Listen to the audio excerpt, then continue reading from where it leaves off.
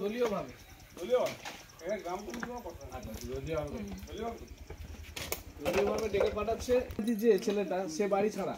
তার স্ত্রী আর মেয়ে থাকে তার বড় মেয়ে বলে বাধ্য সে নাকি আবার দশ হাজার টাকা দিয়েছে। আমি বলে তুমি টাকা নাকি টাকা দিয়ে টাকা পয়সা দিয়ে দিবে। আর টাকা দিতে হবে কিসের জন্য? বাস করতে হলে টাকা দিতে হবে? দাদা এরকম থানা পুলিশ থানাতে বলতে তারপরের দিন পুলিশ এসে ঘুরে যাওয়ার পরে রাত্রিবেলা আবার অত্যাচার। ঠিক আছে চলুন আমরা পরিবারের পাশে আছি। এই জিনিস মানে এই জিনিস মানে সামাজিকভাবে বিজেপির গুন্ডারা কোনো দিক থেকে যখন পেরে উঠতে পারছে না তখন এই যারা তৃণমূল করে এই দেখুন আপনার বাড়িতে আমাদের তৃণমূল সমর্থিত আমাদের নেতৃত্ব কর্মীদের বাড়িতে বিশেষ করে এটা আমাদের অশোক মাইতির বাড়ি। হ্যাঁ। ওনার স্ত্রী এদিকে আসুন। এখানে দাঁড়ান।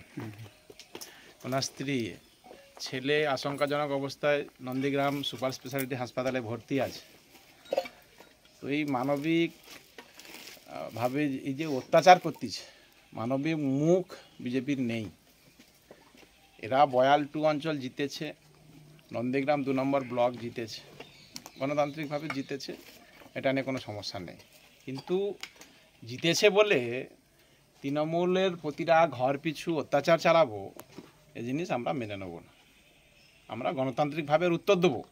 আমরা তৈরি আছি। দু হাজার চব্বিশে উত্তর পেয়ে যাবে। আর সন্দীপ ভাইয়ের যে রক্ত, যে মাথা থেকে রক্ত, চোখ থেকে রক্ত যে বেরিয়ে হাসপাতালে ভর্তি আছে, এ রক্তের হিসাব গদ্দার অধিকারী সহ যারা তাদের টিমের লোকরা এই বয়াল অঞ্চলে সন্ত্রাস চালাচ্ছে প্রদীপ করের নেতৃত্বে। এই রক্তের হিসাব দিতে হবে। গণতান্ত্রিকভাবে আমরা এর হিসাব আমরা নেব। আমরা ইতিমধ্যে থানায় গিয়েছি। আমরা আস্থাশীল প্রশাসনের উপরে। আমরা আস্থা রাখি প্রশাসনের উপরে। কিন্তু সেটা একটা আলটিমাম দিয়ে দিয়েছি। তার মধ্যে যদি কোনো সুরাহা না হয় অপরাধীরা ধরা না পড়ে, তাহলে আমরা গণতান্ত্রিকভাবে ভাবে যেটা করার সেটা আমরা করব। যতদূর যেতে হয় আমরা যাব। এই পরিবার আপনারা দেখুন, এই জিনিস তৃণমূল করে বলে তার বাড়ি ভাঙচুর হবে।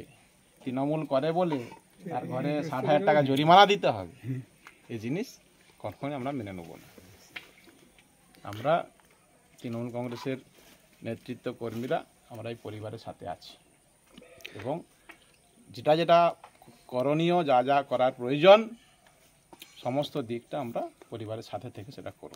পরিবারের অভিযোগ বারবার আক্রমণ হচ্ছে আক্রান্ত হচ্ছে প্রশাসনকে জানিয়েও লাভ হচ্ছে না।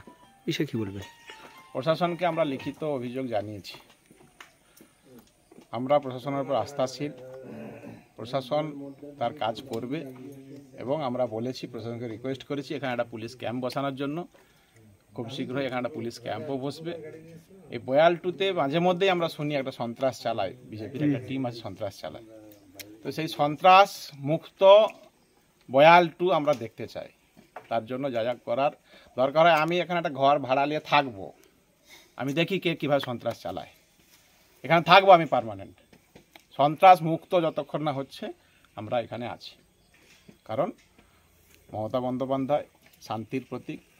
আমরা শান্তি চাই পিস চাই, এলাকা সুস্থ থাকুক পরিবেশ সুস্থ থাকুক শান্তি বজায় থাকুক তার জন্য যা যা প্রয়োজন আমরা করব।